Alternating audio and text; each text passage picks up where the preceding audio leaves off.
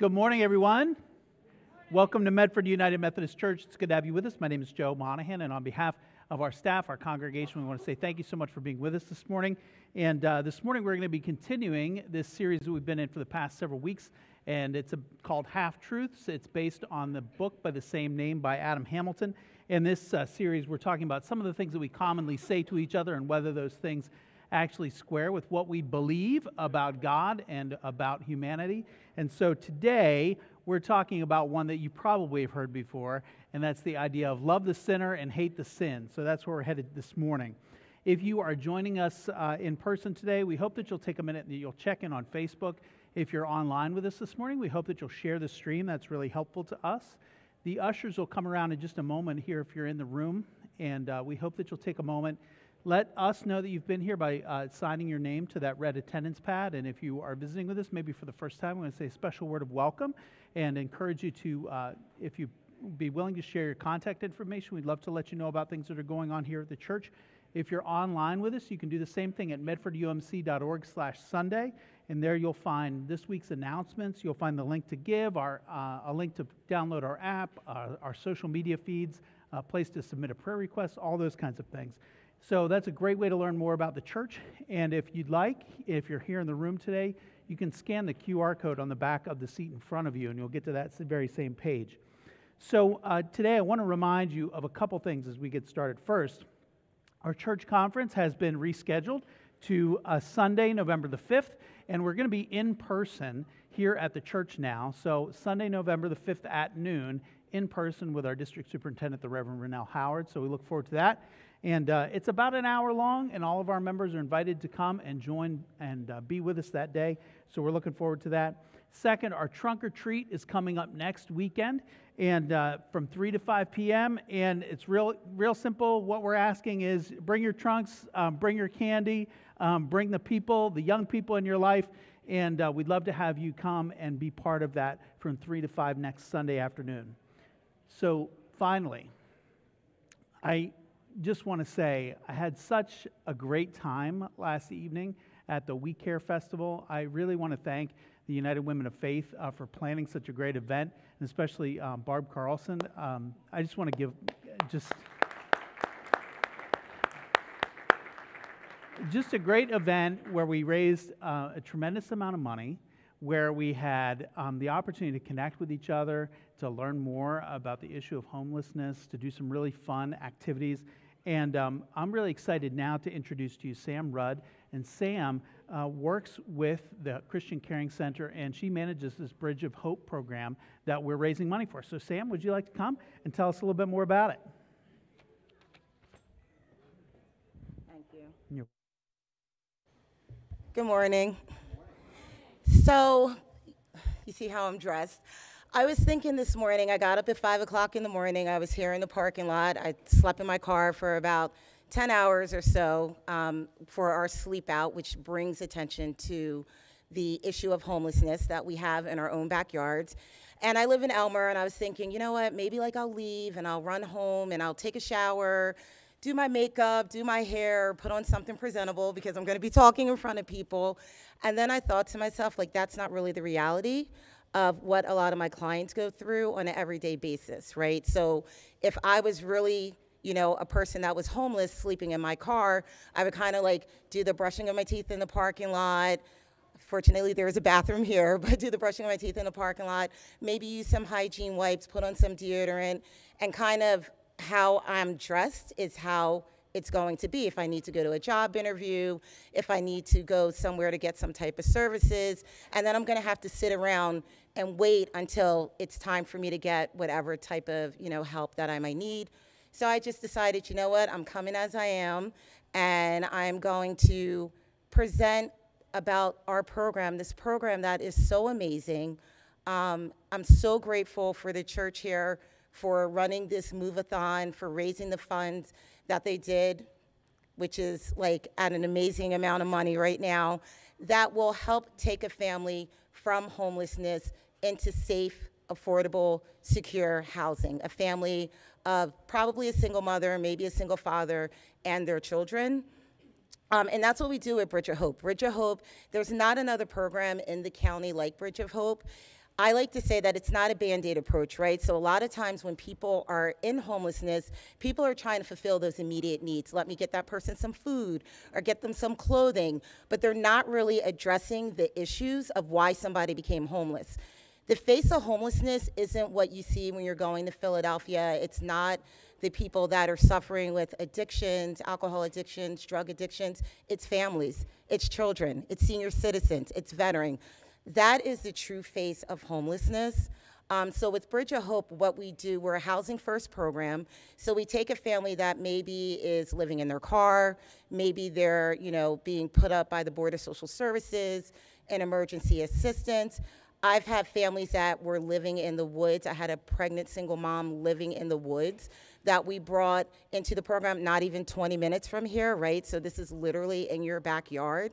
Um, so we put them into safe, affordable housing, and then we work with them for 12 to 24 months. So we're working on budgeting and, you know, basic life skills that a lot of people, for whatever reason, may not have. We're working with whatever issues they may be having with its trauma or mental health or just, you know, all the many reasons. If it was a person that became homeless because of domestic violence, which is really what we're seeing with single mothers, primarily the reason that they're becoming homeless is because of domestic violence issues. So we're addressing those issues as well.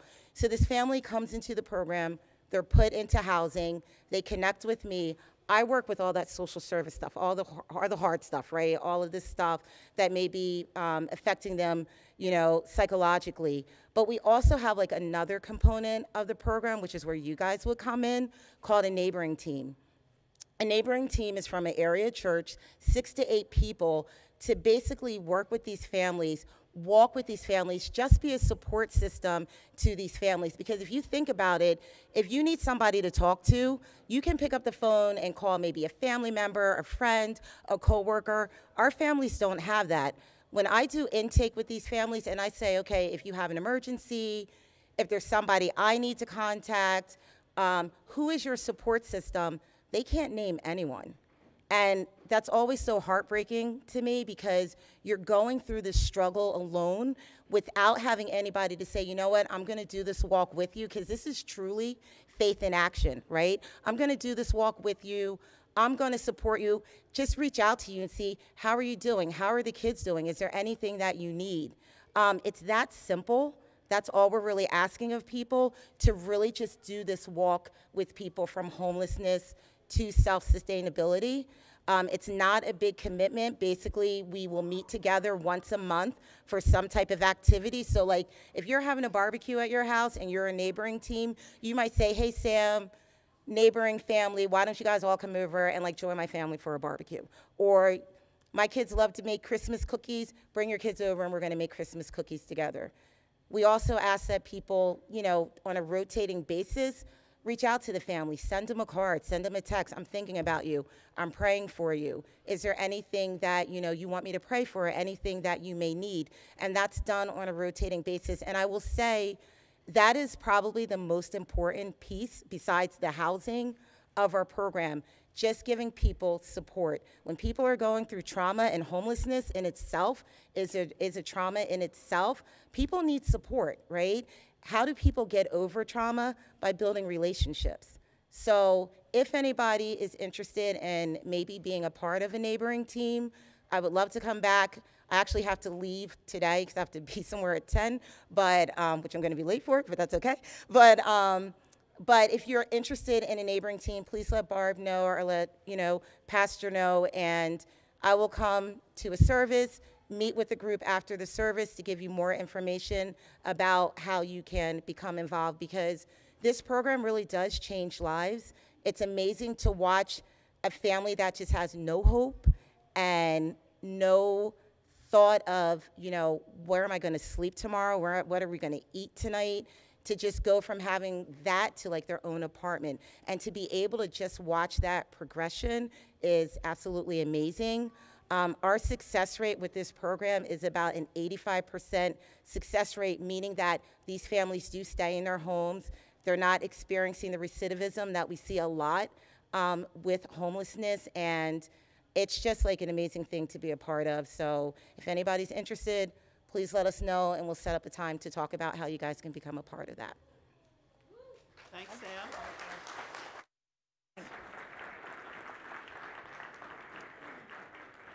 So, friends, in just a little while, um, I'll share the totals and where we are and tell you how you can make a donation to help fund this. We're really grateful to Sam and for the Christian Caring Center for being part of this pro- program. And I just want to say one more thing before we uh, turn over to Nate. I just want to say, on behalf of Kate and myself, a, a very sincere thank you.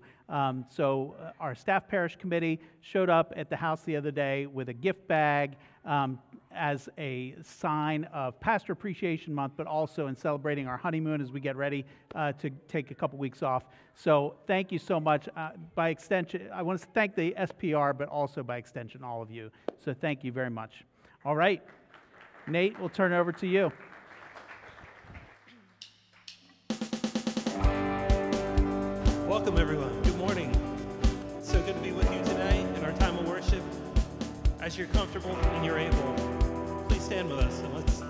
Voices together.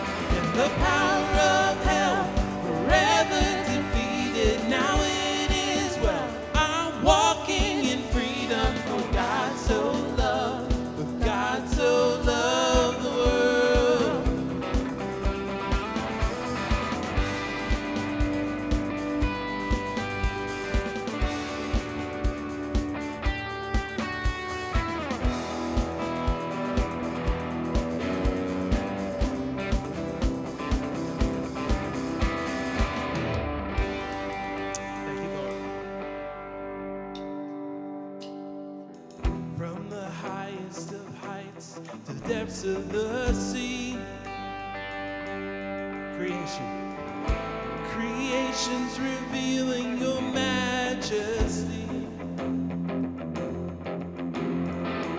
From the colors of fall to the fragrance of spring. Every creature. Every creature unique in the song that it sings. All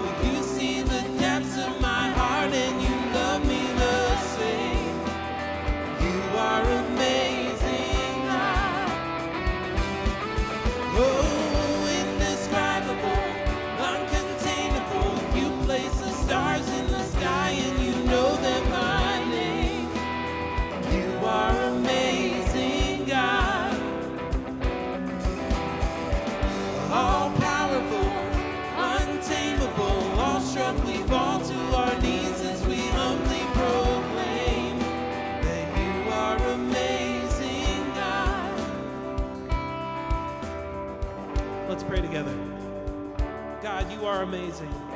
Lord, we thank you for this new day and another opportunity to worship together. Refresh our hearts as we prepare for your word. In your name we pray. Amen. You may be seated.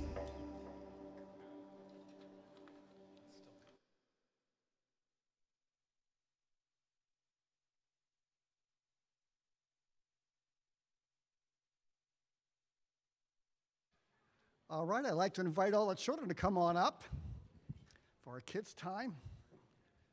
All right, nice shirt. Nice shirt. How are you guys doing? Wow, Eagles fans here today, huh? How's everybody doing? Good? Hey guys, are you getting ready for something special coming up? What, what- what's happening? Halloween? Really? An Eagles game? Four o'clock? All right, very good. Now, you know the Phillies are winning too. So I'm going to root for them tomorrow, right? And Tuesday and Thursday and Friday. We only need four games, right? Huh? But guess what? I'm going to root for the Eagles too. You ready? Huh? I'm not as talented as Mrs. Kelsey. I couldn't sew them together. All right. Well, let's see what we got today. Did you all have your costumes for Halloween?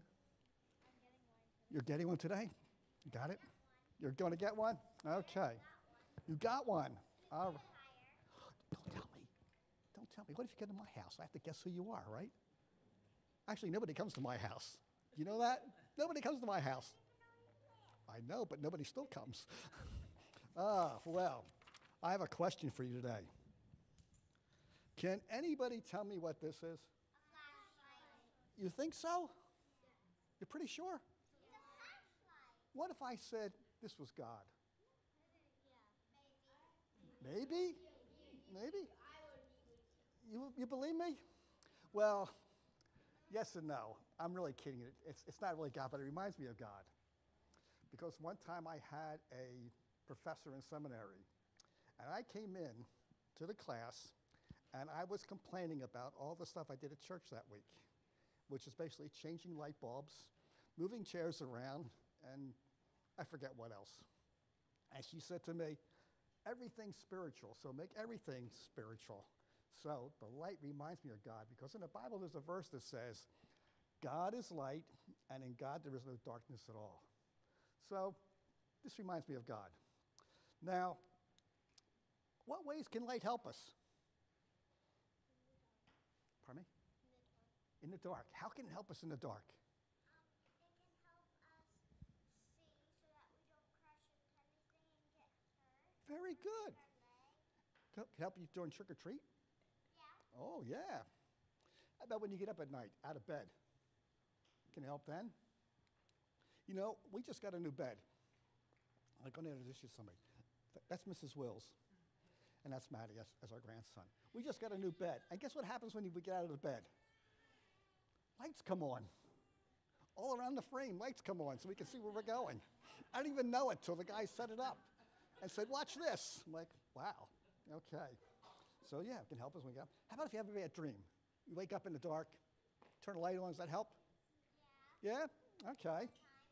Sometimes. Call her mom. Maybe she turns the light on, huh? How about if you're driving in the car with mom and dad in the darkness? Do they turn on the headlights or they drive without the headlights? They turn the headlights on so they can see where they're going. Okay. All right. Now, how about when you're reading? Do you turn the light on? Do you? Good. You need that. You know my wife does? She reads in the dark. I don't know how she does it. I have to turn the light on. You read in the dark too. I have to turn- Now, when I was your age, I like to read a lot. I used to be under the covers with my little flashlight reading. Anybody do that? No. No, don't do that. Try it sometime. Sometimes, yeah. I might get home. It's fun. It's fun to do. All right, so we got this light. Now, how about if you're trying to find something in your class that are under the bed? Sometimes they can be kind of dark. Not all classes have light. Some classes have light, other classes don't have light. Yours doesn't have one? Annoying. Yeah, now, this light might do pretty good in the closet or in the bed, but it's, it's, do you think it's kind of dim? Yeah. Yeah? So you think we might need something a little bit brighter? Yeah. What do you think about this one? Huh? A light that's half. How about this one? Oh, that one. That one. Huh? That one?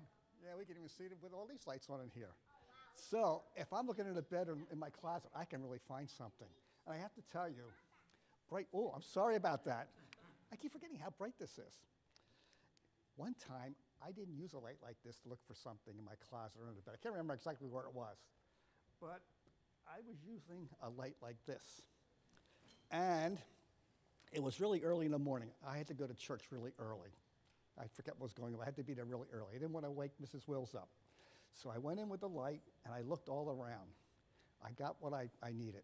And when I got to church and turned all the lights on, guess what I found out? Look at my feet. Does something look funny there? I had on two different colors of shoes. Hmm. I mean, the shoes look kind of alike, don't they? But this is brown and this one's black. Yeah. You know, that's- Like mix match day, like it was a different color. I should have made that mixed match day at church, shouldn't I? I didn't see a difference. I thought they were slippers. Yep. Whoa. So it was a little embarrassing. I finally ran home and got, got the other, other one, the right one. So anyway, but you know, if I used a bright light, it probably would have been all right. And you know, i- in the Bible, it talks about something that kind of relates to this with, with this light, besides the verse I just told you about where God is light. You know, sometimes we shine, a, you know, you didn't like that light in your eyes? Sometimes we shine like a really bright light, so to speak, on somebody else. And we kind of look for things that mm, maybe we don't care for, we think that are wrong. What's the matter, Bubby? Huh? You, you want this? Okay, take it to grandmom. Uh, we may not like the way they comb their hair. Maybe we don't like the way they talk. Maybe we don't like the way they, they play with us. Maybe we don't like the clothes they wear or the team that they support. I mean, who should you support? Eagles? How about the Dallas Cowboys? No. Oh, okay. No. Huh? And the Flyers. How about the Sixers too? Sixers? Yes. Six. Not the Sixers. See? But sometimes we might think those kind of things are like flaws in other people. We get we get kind of uh, judgmental. We think that they don't they they're not right in things. They don't believe like we believe. And then we think they're doing everything wrong and they're not very good or very nice. But you know what Jesus says? Any idea what Jesus says about that? Huh? We're going to hear it in a little, little bit. But Jesus says, hey guys, don't be so harsh. Don't be so hard on people. Uh, don't, don't really judge others. Take a look at yourself. Ooh, how about that? Oh, thank you. Thank you very much. he says, take a look at yourself. Because are we all perfect? Hmm? No? Is Mary Poppins? No, she's not perfect either, right? She says practically perfect, but not perfect, right? So, no one's perfect. Uh, and even one of Jesus' followers said, you know, everybody's sinned. Everybody's done something wrong. Everybody's made a mistake, and they've fallen short of God's glory. So, here's what I think we should be doing this week and all the weeks after that. What are you doing now? Huh? Going to go back to grandma? We need to make sure we turn that. Can I have the bright light? Huh? Rather than shine the light, the real bright light on somebody else and looking for things that might be wrong with them, we should shine the light on ourselves and see what kind of mistakes we have made, maybe. Because, like I made a mistake there, yep, yeah, see what kind of mistakes we, we might make. So, what are some things we might do to improve ourselves as followers of Jesus? What can we, what can we do better, maybe? Anybody have brothers and sisters? Oh, right there? Uh-huh. He's your brother? Do you always get along? No. Ma- you only have dog sisters? You fight every day. Well, now maybe you have to try and get along better. How's that? Be patient with each other. Don't yell at each other, huh? Okay, maybe you have to say yes sometime, huh? Maybe. Yeah, we'll see. We can, we can try it, right? How about how about treat others fairly? Maybe share things better. Hmm? Do we do that? How about do we always listen to our moms and dads? Maybe we need to listen to them better and then do what they tell us to do, huh? Or how about our teachers? Huh? You listen to the teachers? Maybe? Okay. So instead of looking for some flaws in other people, think what you can do to be better. All right. You know, guys, I think you did a really good job today. I'm really, I'm really proud of you did. You came up with some really good things and shared a lot of stuff. And of course, you also talked about supporting the right teams. So it's Go Eagles today? Go Eagles? Okay. Now, just to make sure we can do all this, should we have a word of prayer? Can we pray together? You sure? Wait, I have one vote to pray together. Anybody else vote to pray together? Huh? Let's pray together. You can repeat after me. So let's say, Dear God, Dear God we're so glad to be here today. We're so glad to be here today. To see friends and teachers. To sing. To sing. To hear the music. And offer our prayers. Thank you for being with each of us. Thank you for being with each of us. Every moment of our lives. And God, help us not to be judgmental towards others. But help us to see the mistakes we may make. Help us to see the mistakes we may make. And help us to love others as much as you love us. And treat them as you treat us. as you treat us. In Jesus' name we pray. Amen. Amen. All right. Ready to go back to Kids Corner?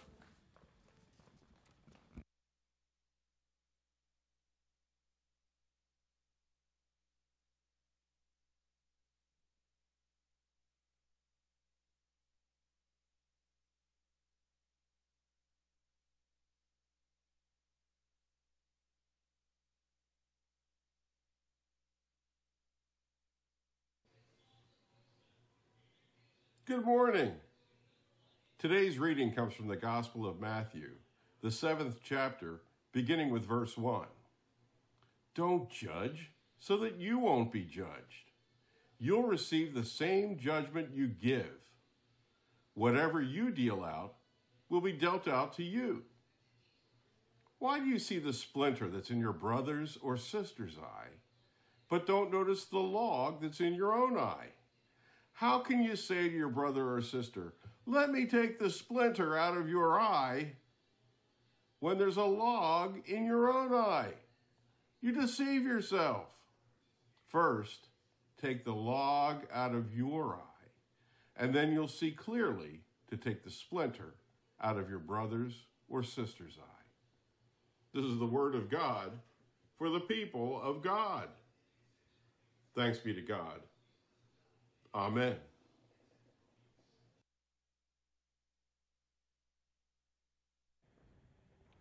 So we want to thank uh, Perry Smith for sharing the scripture reading with us today from South Carolina. Let's take a moment and pray together.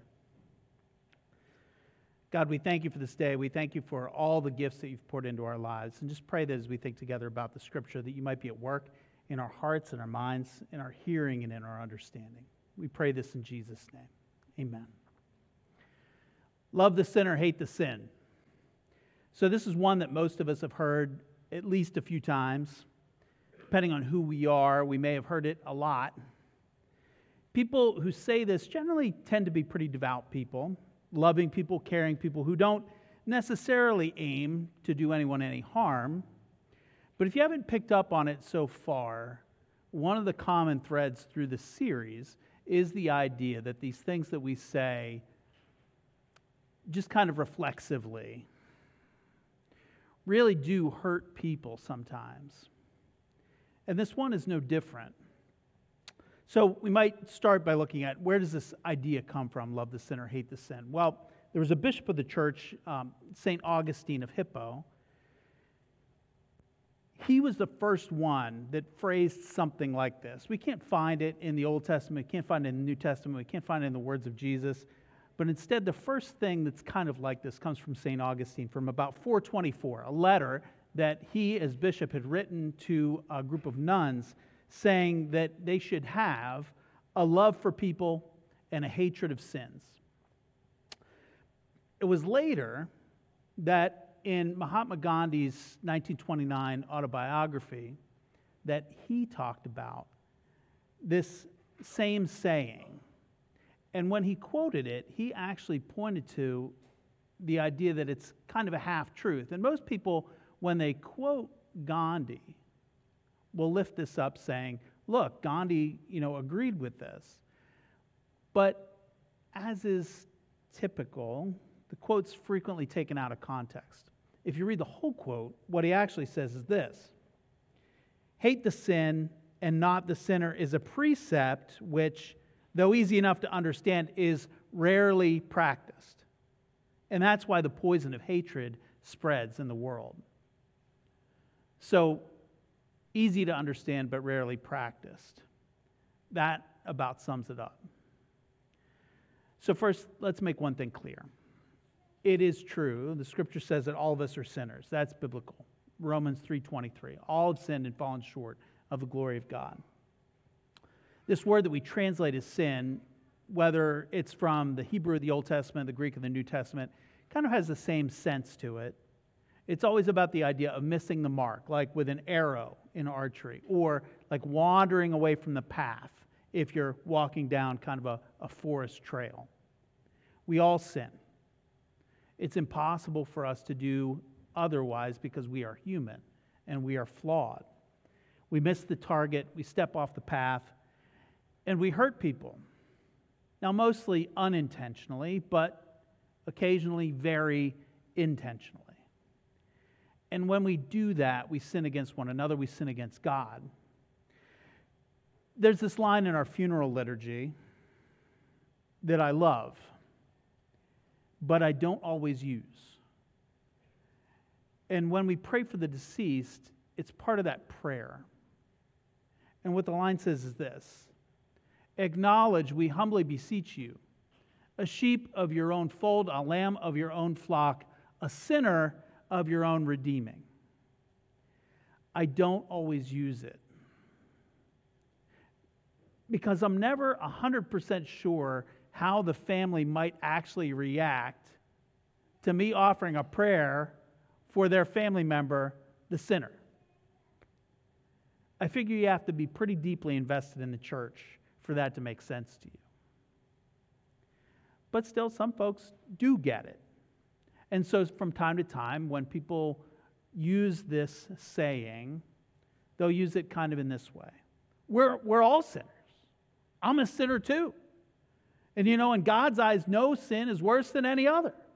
We're all sinners. Now, I get the idea behind that. God is holy and we are not, so all of us are imperfect. Any degree of imperfection is being out of sync with God, and when we're out of sync with God, it doesn't matter how out of sync we are. But really, we want to make the argument that at the end of a long day, if you're short with the customer service representative, that's the same as cheating on your spouse. That's the same as murdering someone. We really want to make that argument that all those sins are the same? I get where the idea comes from because Jesus talks, for example, in Matthew 5, when he talks about adultery, he says, even to look at someone with lust is to commit adultery with them. But is the point of what Jesus is saying to make clear that the thought is every bit as bad as the action? I don't think so. Jesus frequently spoke in hyperbolic language, like overly inflated, overly exaggerated language. And he did that for two reasons to get your attention, first of all, and then to make his point. And here the point is that we need to guard our thoughts because thoughts lead to actions. Now, it is true that the church has historically been much more interested in certain sins than other sins. And with sexual sins being absolutely at the top of the list, the thing that we are obsessed with. So when we hear this love the sinner, hate the sin, now, today, it's most frequently something that gets cited in the context of a conversation about where our ministry with LGBTQ plus people fits into the life of the church. And I'll get to the reasons why that's particularly problematic in just a moment. But I want to say first that Jesus never said, again, he never said anything about loving sinners. He talked about loving your neighbors, but he never talked about loving sinners. Even that love your neighbor, that wasn't original to Jesus. That actually comes from Leviticus. Leviticus chapter 19, verse 18. Love your neighbor as yourself. Now, it's true that Jesus was a friend of sinners. But when Jesus says that, he actually is quoting people who are his opponents,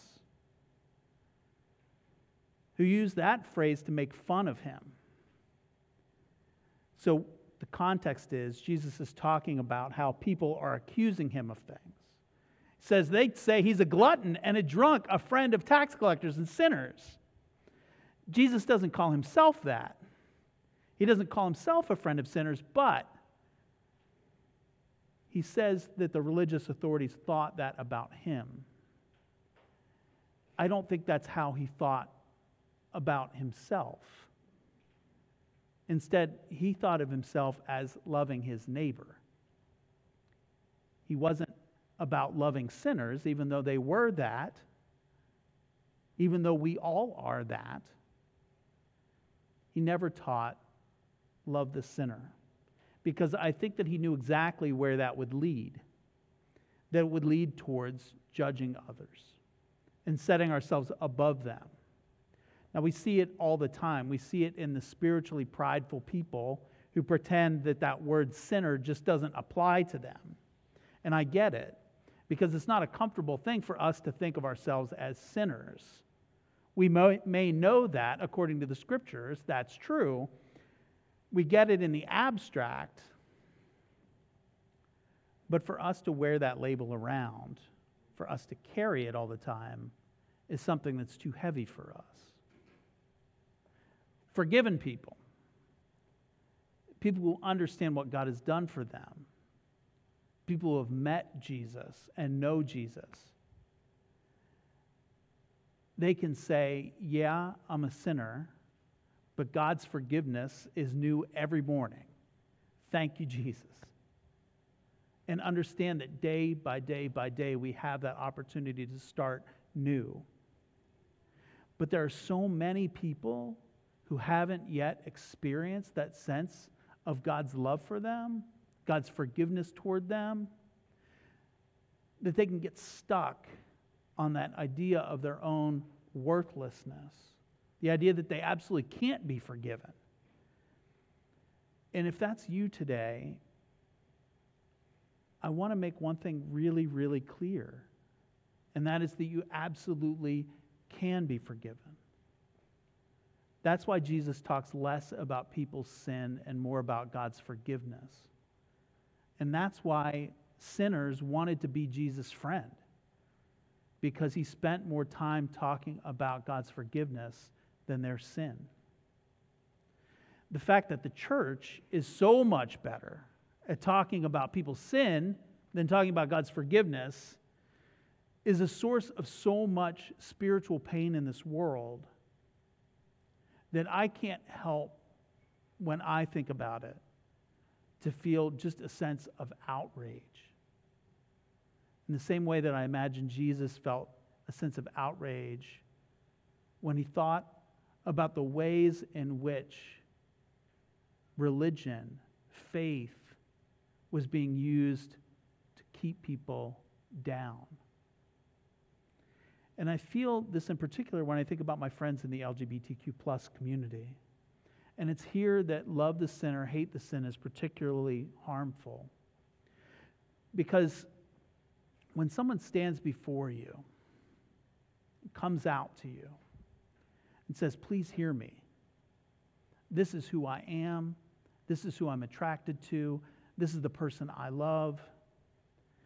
And we judge that. It's impossible in that moment for us to separate the sin from the sinner. Sin from sinner. You just can't do it. Because we're talking about someone's identity.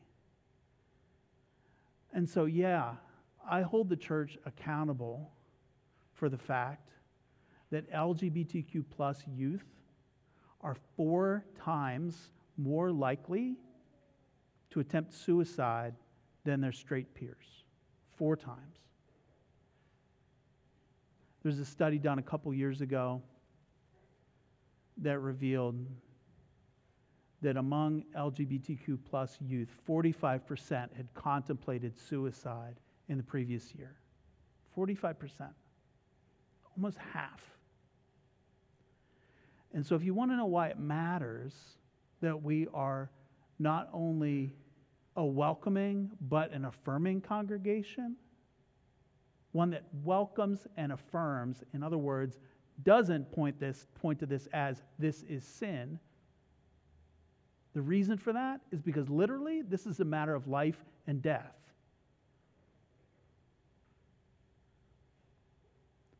Judge not, lest ye be judged. Does that mean we can have no moral opinions? Of course not. There is right and wrong in this world. Does that mean we can say nothing on any issue ever? Of course not, because there are times when not to speak out about an injustice is itself an injustice. But the point of Jesus saying, don't judge, is that it's a warning to us not to fall into that trap of self righteousness, which is exactly where love the sinner, hate the sin leads us into a trap of self righteousness. There's only one thing, only one part of the statement that is the whole truth here. The first word love. Love, love. That's the truth. And that's the only truth. It is not our job to judge, that is God's job. It's not even our job to convict people of sin, that is the Holy Spirit's job. Instead, our job is this to witness to the goodness and the love of God in this world. The love and forgiveness of God that we've known in the face of Jesus Christ. That is our task. That's all there is. Let's pray together. God, we thank you for all that you've done for us. We thank you that we are forgiven people, that we are your beloved people. And we pray that as we continue to live into our belovedness, that we might grow in our understanding of the ways that our judgment of others hurts and doesn't help. Pray that you might continue to enlighten us, continue to remind us that we are forgiven people, so that we might continue to share your good news and your love in the world. We pray this in Jesus' name. Amen.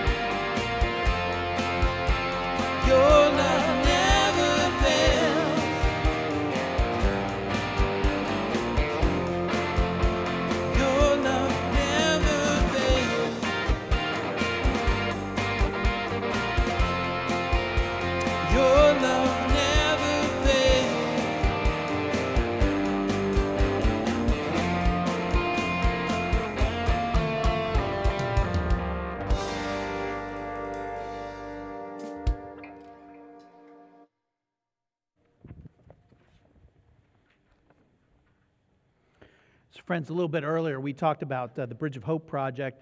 I want to announce to you this morning that um, we are at $9,900 so far against our $12,000 goal.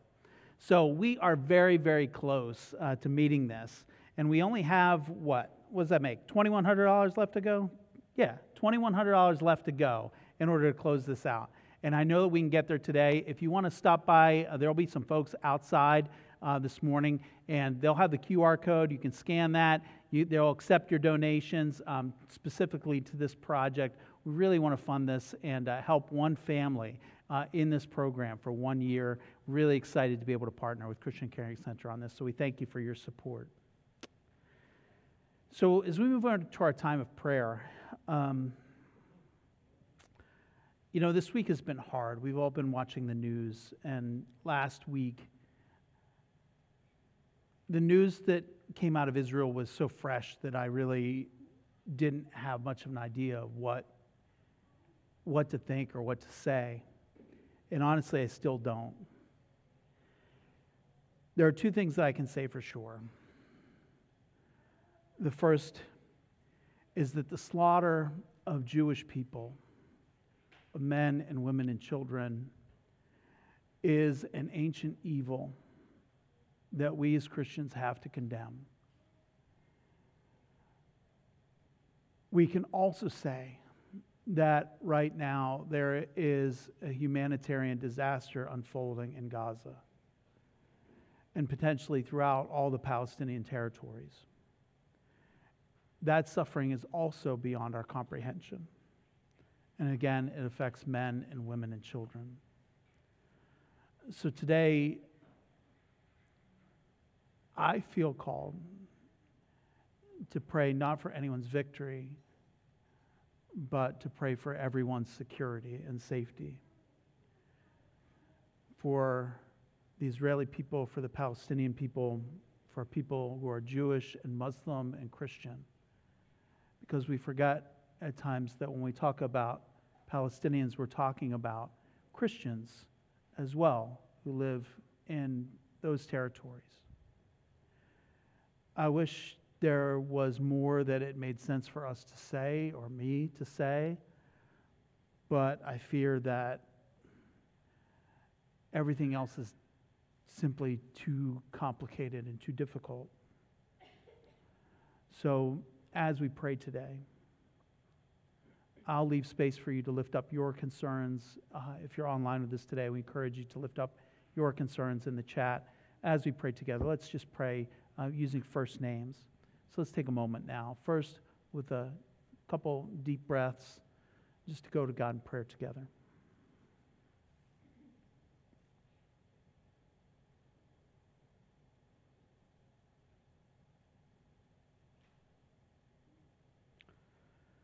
God, we give you thanks for this day.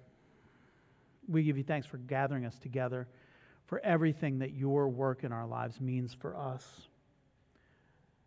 We look at the state of the world and we wonder, how could this possibly be? In Israel, in Gaza, in Ukraine. Lord, we pray for all those who are affected by these conflicts all those who have lost loved ones Russian families, Ukrainian families, Palestinian families, Israeli families. Would we pray for all those who have lost loved ones? And we pray for peace and security for your people, wherever they are. And we reaffirm once more that we believe we are all your people. And pray that you might surround each and every person with your peace, with your protection on this day. God, closer to home, we know that there are people that we're concerned for, people that we're praying for, and I invite you to lift up those names now.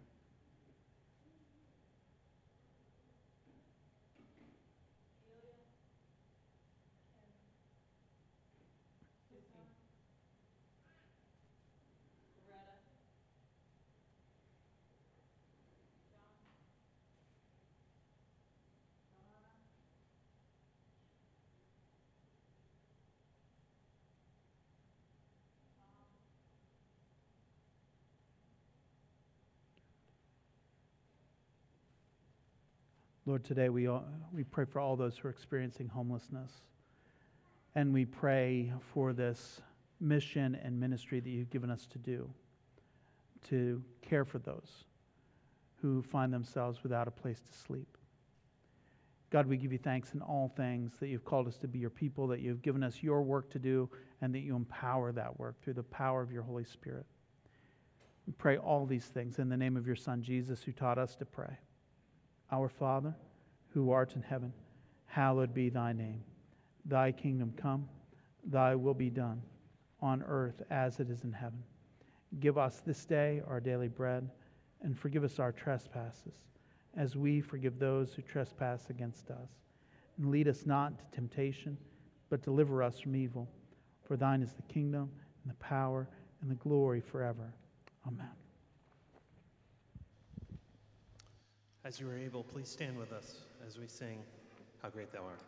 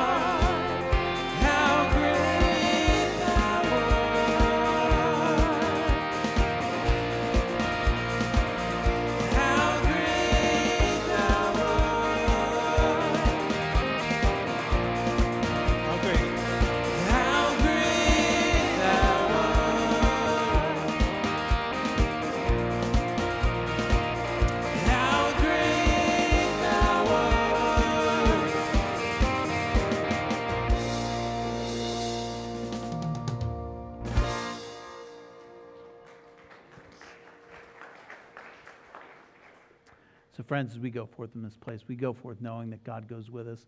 We go forth knowing that it is not our calling to judge, it's not our calling to convict people of sin. It is our job to love and to love people well. So, go forth in the name, the power, the grace, and the love of Jesus Christ. Amen.